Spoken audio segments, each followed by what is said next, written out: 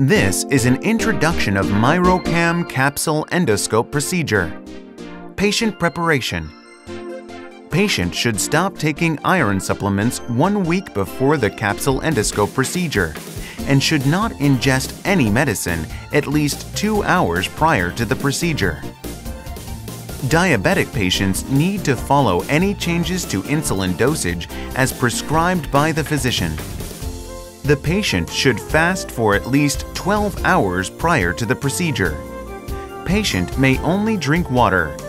No food or other beverages, such as milk or coffee. Physician is recommended to prescribe patient a laxative, such as PEG or sodium phosphate. Patient should ingest laxative 12 hours prior to procedure. Physician is recommended to prescribe patient an oral anti-foaming agent, such as simethicone, to reduce bubbles in the GI tract. This should be ingested after the laxative. On the day of the capsule endoscopy procedure, the patient should wear comfortable and loose-fitting clothes. One-piece clothing should not be worn. Receiver preparation. Nurse or medical practitioners should turn on the computer. Start MiroView Operator and log in. Connect the receiver to the computer via USB cable. Make sure the receiver is turned on. After clicking the receiver button, click Initialize. Please be noticed that if the receiver is initialized, patient information and data will be permanently deleted. After initialization, enter the patient data. Complete all required fields. If required fields are not entered, the patient data cannot be saved. Capsule serial number must be entered. The serial number can be found on the back of the capsule packaging. After entering the patient data, click the Save button. Disconnect the USB cable from the receiver. Attach fully charged battery to the receiver. Describe where the sensor pads will be attached on the patient. Open the bag of sensor pads and attach them to the data cables prior to affixing to the patient. Attach sensor pads according to the color and number on the data cables as follows. To attach pad number 1, locate the center between the umbilical and the xiphoid process. From this center point, attach sensor to the distal point on the right flank of the patient's body. To attach pad number 2, place the sensor pad on the xiphoid process line, directly below the midpoint of the right clavicle. To attach pad number 3, place the sensor pad on the xiphoid process line directly below the midpoint of the left clavicle. To attach pad number 4, locate the center between the umbilical and the xiphoid process. From this center point, attach the sensor to the distal point on the left flank of the patient's body. To attach pad number 5, place the sensor pad on the right pelvic line 2 centimeters behind sensor number 1. To attach pad number 6, place the sensor on the right inguinal line, 2 centimeters to the outside of sensor number 2.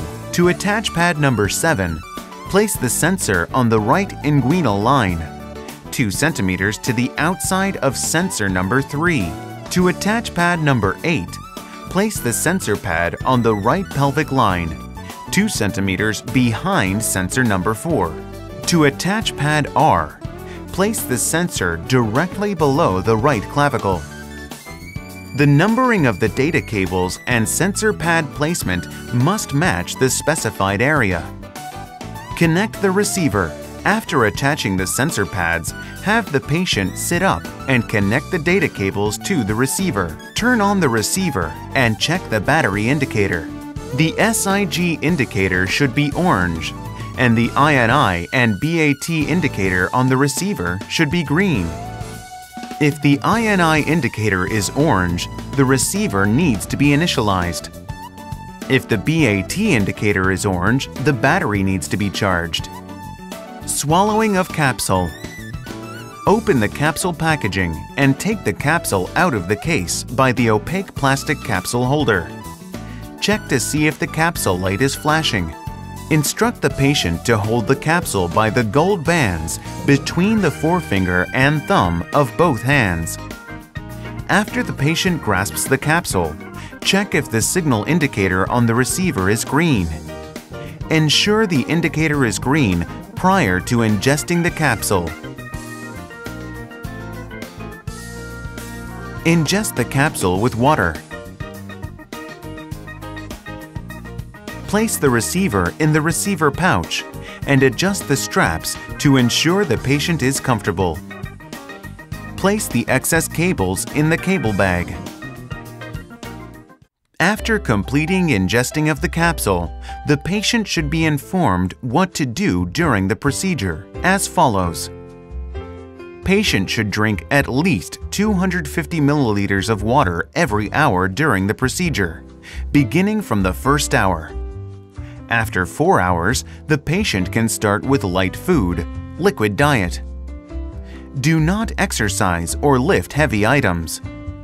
A daily activity, aside from strenuous activity, is permitted, i.e., daily activities including walking, sitting, driving, etc.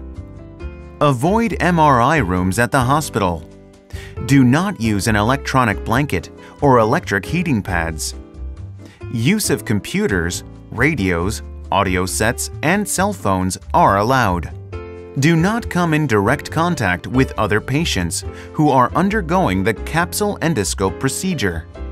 Do not touch or remove the parts of a receiver, data cables, or sensor pads. Patient may loosen the bag, but the receiver pack should not be taken off. After 12 hours from the start of the procedure, the receiver will turn off automatically, and the patient can remove the receiver.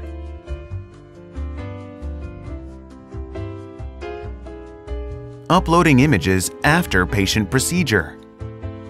After finishing the procedure, patient should return the receiver to the hospital.